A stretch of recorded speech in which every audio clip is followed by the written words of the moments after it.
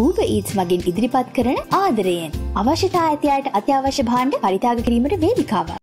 ජාත්‍යන්තර මූල්‍ය අරමුදලේ සහ ලෝක බැංකුවේ දෙදහස් විසි දෙක වාර්ෂික ඒකාබද්ධ සමුළුව ඊයේ ආරම්භ වුණා. ඒ අමරිකාවේ වොෂින්ටන් නුවරති. එම සමුළුවේදී ලෝක බැංකුව අවධාරණය කර ඇත්තේ ලබන වසරේදී කෝලිය ආර්ථික අවපාතයක් ඇතිවීමේ ඉහළ අවධානමක් පවතින බවයි. ලෝක බැංකුවේ සභාපති ඩේවිට මල්පාස් මේ බව සඳහන් කළා. පොලි අනුපාදික ඉහළ නැංවීම හා උද්ධමනය ඉහළයාම හේතුවෙන් ගෝලිය ආර්ථික අවපාතයක් ඇතිවිය හැකි බවයි ඔහු වැඩිතුරටත් සඳහන් කළේ. එසේම මෙම සමුළුවට එක්වෙමින් ජාත්‍යන්තර මූල්‍ය අරමුදලේ කළමනාකාර අධ්‍යක්ෂිකා ක්‍රිස්ටනිලා ජෝජිවා ප්‍රකාශ කළේ ඉහළ ණයගැනීමේ පිරිවැය මේ වන විටත් ලොව පුරා රටවල ආර්ථිකයට බරපතල ප්‍රතිවිපාක අත්කර දෙමින් සිටින බවයි. මෙවර සමුළුවට ශ්‍ර ලංකාව නියෝජනය කරමින් රාජ්‍යමාත්‍ය ශයහන් සේමසිංහ මුදල් අමාත්‍යංශයේ ලේකම් මහින්ද සිරිවර්ධන මහබැංකුව අධිපති ආචාර්ය නන්දලාල් වීරසිංහ ඇතුළු පිරිසක්ද එක්ව සිටිනවා. අදාළ සමුළුව එළවන දාසේ වනදා දක්වා පැවැත්වෙනු ඇති.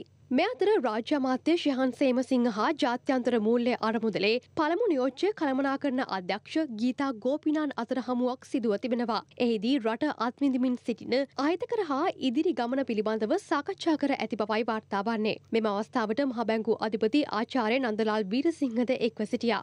ජාත්‍යන්තර මූල්‍ය අරමුදලෙන් ශ්‍රී ලංකාව ඇමරිකානු ඩොල බිලියන දෙකයි දශම නවයක විස්තීර්ණ ණය මුදලක් අපේක්ෂා කරනවා. නමුත් එහි පළමු කොටස ලැබෙන දිනයක් පිළිබඳව මෙතෙක් නිශ්චිත වශයෙන් වශයෙන් ප්‍රකාශ කර නැහැ. මෙම ණය පහසුකම මාස හතලිස් අටක් ඇතුළත ලබාදීමටයි ජාත්‍යන්තර මූල්‍ය අරමුදල එකඟ වුණේ. මේ අතර ජාත්‍යන්තර මූල්‍ය අරමුදල මගින් ශ්‍රී ලංකාවට ලබා දෙන මූල්‍ය පහසුකම පිළිබඳව අමාත්‍ය මණ්ඩලය දැනුවත් කර තිබෙනවා. ඊයේ රැසූ අමාත්‍ය මණ්ඩලයට සූම් තාක්ෂණය ඔස්සේ සහභාගී වූ ජාත්‍යන්තර මූල්‍ය අරමුදලේ නියෝජිතින් පිරිසක් එම දැනුවත් කිරීම සිදු කර ඇති බවයි වාර්තා වන්නේ. ඌව ඊත්ස් මගින් ඉදිරිපත් කරන ආදරයෙන් අවශ්‍යතා ඇතියට අත්‍යවශ්‍ය භාණ්ඩ පරිතාග කිරීමට වේදිකාවක්.